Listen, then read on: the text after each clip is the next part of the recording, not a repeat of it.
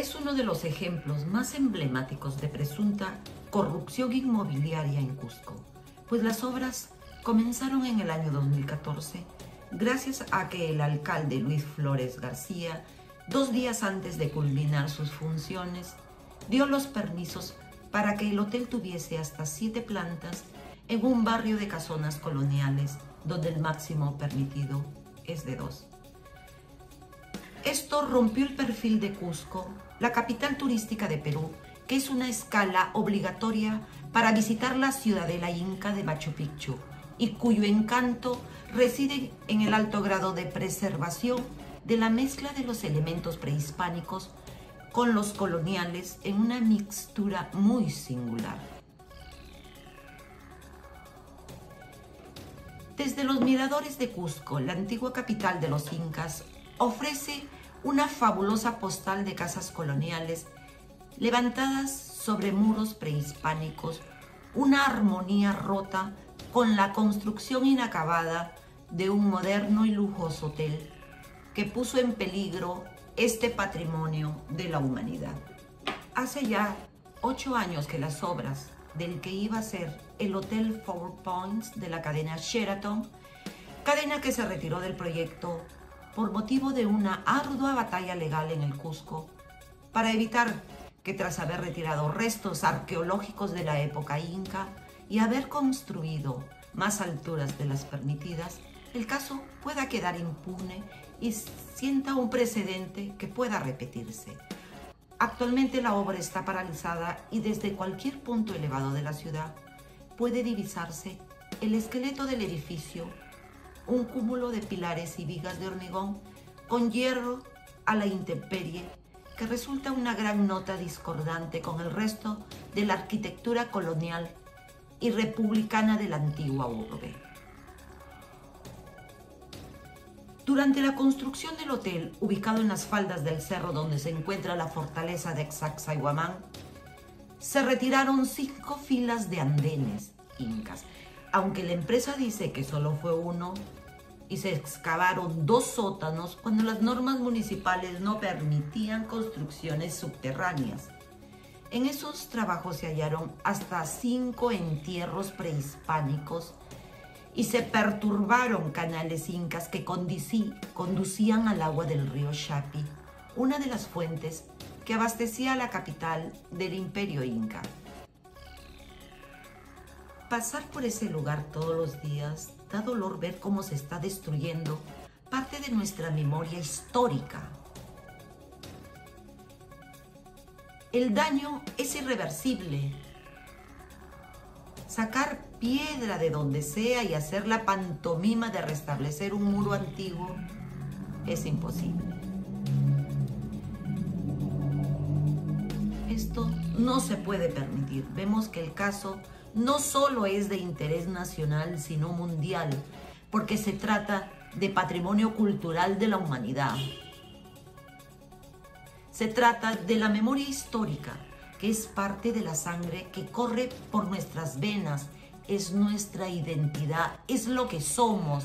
Mucha gente dirá que son huesos lo que hay ahí, pero es parte de nuestra historia y en cada uno de ellos hay mucha información para conocer la forma de vida y características de nuestros antepasados. Al día de hoy ha prescrito la facultad del Estado para sancionar a los responsables y corremos el riesgo de que también el proceso penal quede en nada. Son más de 70 funcionarios los que están siendo investigados.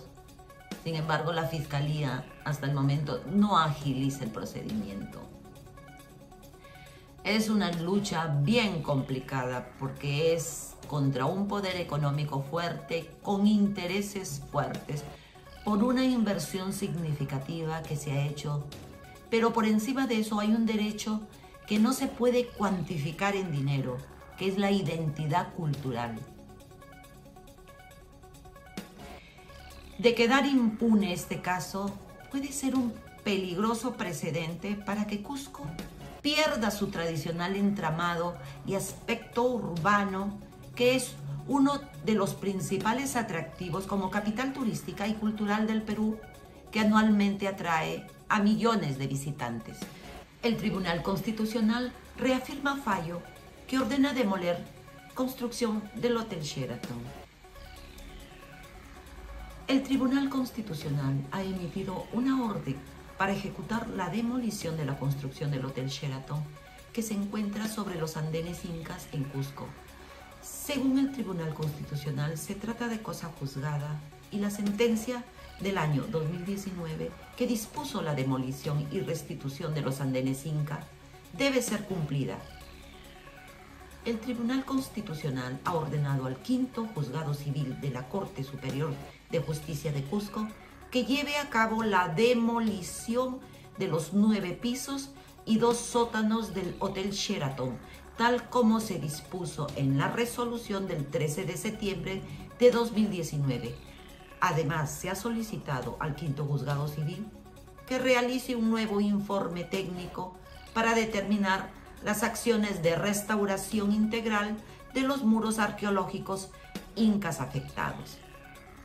Ante este fallo, el Tribunal Constitucional y la Comisión de Juristas contra la Corrupción y por la Defensa Social, encargada de la defensa del patrimonio cultural, ha solicitado una reunión con la Dirección Desconcentrada de Cultura y con la Municipalidad de Cusco para asegurar el cumplimiento de la sentencia y evitar resistencias por parte de estas instituciones al mandato del Poder Judicial.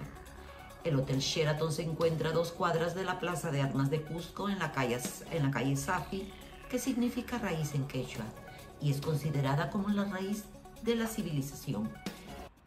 En este lugar se encontraban las cinco filas de andenería inca que formaban parte de las bases del Sacsayhuamán. Los hechos relacionados con la construcción del hotel y la afectación de estos importantes vestigios arqueológicos fueron denunciados desde el año 2014. La Comisión de Juristas está convocando a los cusqueños y a la comunidad nacional e internacional a sumarse a una jornada en defensa de este patrimonio cultural. Se busca crear una bolsa común. Este caso ha generado una gran preocupación entre los defensores del patrimonio cultural, quienes han señalado la necesidad de que se cumpla la sentencia y se proteja adecuadamente la riqueza arqueológica de Cusco. Con la orden del Tribunal Constitucional se espera que se tomen las medidas necesarias para llevar a cabo la demolición del Hotel Sheraton y restaurar los valiosos andenes incas afectados por esta construcción.